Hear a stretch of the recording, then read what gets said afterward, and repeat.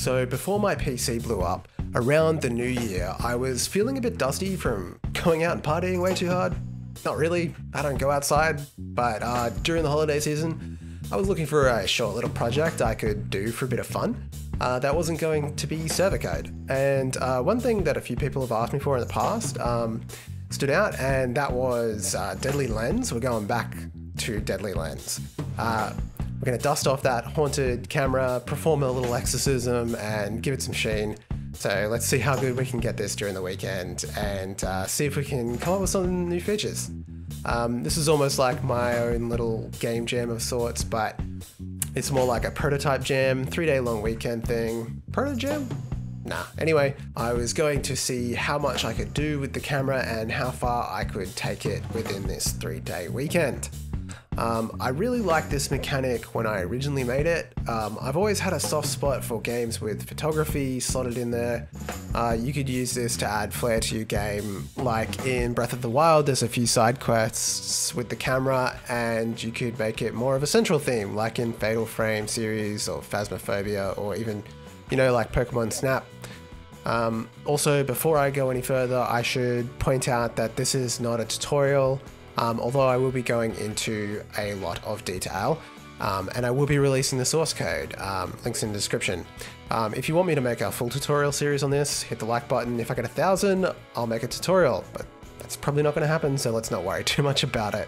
Um, I spent the morning cloning and cleaning up the Deadly Lens project, removing everything except for the digital camera and the character controller, which took a lot longer than you'd think. I wanted to make sure it was clean, because I wanted to release this code to you all and it needs to look good.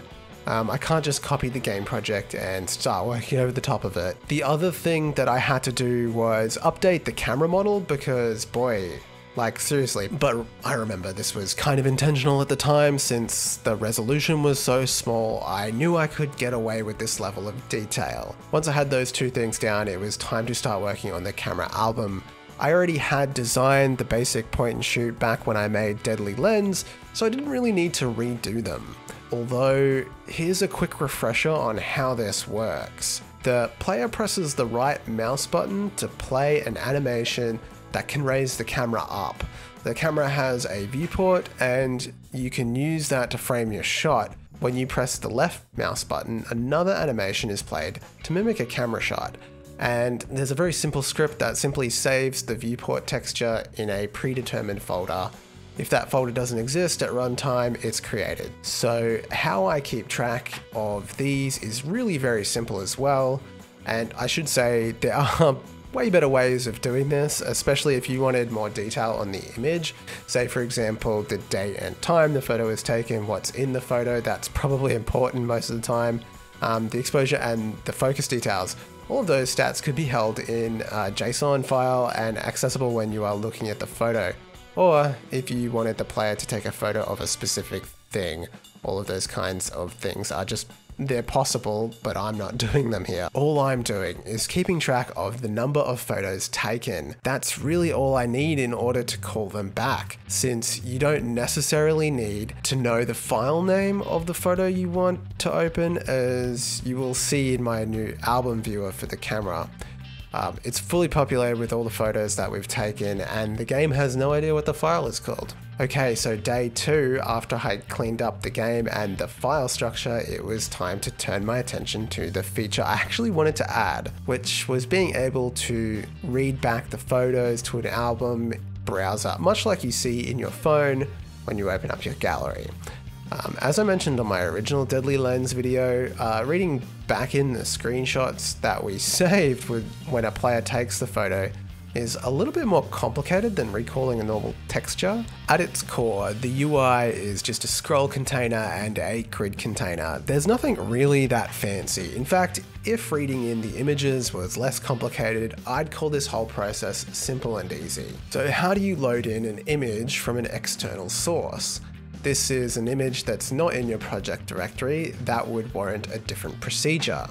This technique for images or textures that were either created during runtime or loaded externally. Uh, loading imported resources requires you to use the load or resource loader.load function loading non-imported external resources require you to replicate the import process at runtime first, which is already done in the editor, and then store a reference to the loaded resource somewhere for it to be accessible later on. So it's not possible to use load for those resources because they were not actually imported but created at runtime instead, which is pretty confusing and it took me a while to figure out how to get these images back into the game. You can't use load, you instead need to use load PNG from buffer, which asks for a buffer, which is a pool byte array of the size of the file in bytes, to which you might reply, what? Uh, don't worry too much about what this is, I'm not going to. Just know, in order to feed a texture or image externally, you need to feed in the image this way. First, you use getLen to get the size of the file in bytes. Then you can take that to create a buffer. And you can see that I've nested these two together in my code. Once you have the buffer, you can instance an image and load the PNG from the buffer. Then instance an image texture and use create from image to get an image texture. Now you've done that, you can simply assign it to any texture rect. And okay, that's step one. Step two. So now we can load up an image and we can go about building the gallery. Like I showed before, the game knows how many photos you've taken. I should note that on startup, I have a script that goes through and counts the number of files in the photo folder. By the way, I would point out that I know using a counter for the photos is pretty basic. Um, it should be a JSON that converts to a dictionary. That way you could hold a bit more information like I said before. Um, but my approach is a little bit simpler and it works for this example. So when the level runs, we build the gallery. This is pretty straightforward. I grab the photo count from the tracker, compare it to the number of photos already in the gallery, then add in any missing using the two functions set up earlier. There's a specific texture rect that I have for this that can work with the mouse over effect and store the photo. Uh, so when you hover over the photo in the gallery, you get this nice scaling effect.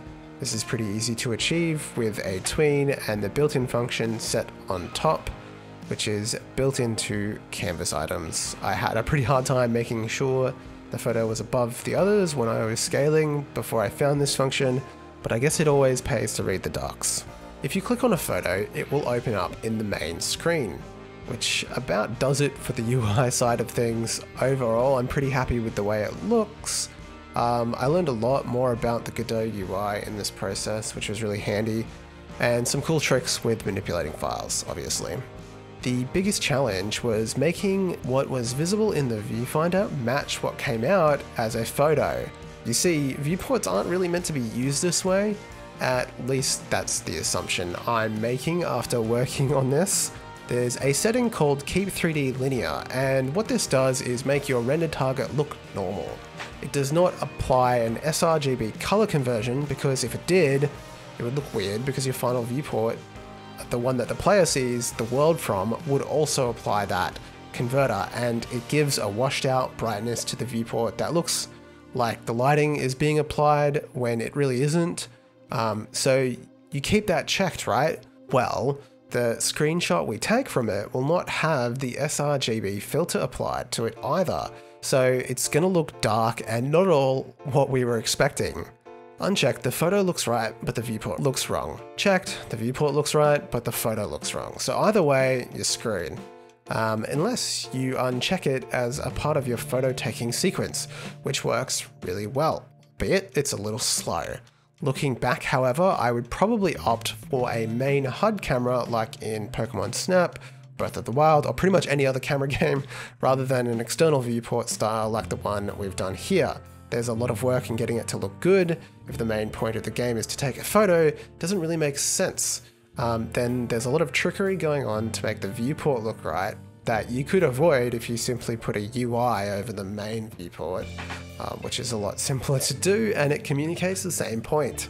After I had mastered the photos and the UI, I spent a little bit of time building out some scenes for the player to wander around in and take some photos. Uh, one from Neoma van dersteen on Sketchfab, which is a city scene of Assisi in the sunset. Really nice, relaxing scene. Then I also added a scene from Matthias Tossens, also from Sketchfab. This one is a Japanese town celebrating Tanabata. Also has some really cool vibes, spent a lot of time playing with the lighting, getting the scenes to pop in a way that I haven't done before. I'm really glad I decided to use external assets as my level design is not really at a point where I could make this look nearly as beautiful as these guys have. Like I said at the beginning, this isn't really meant to be a tutorial, mostly a demonstration of what's possible.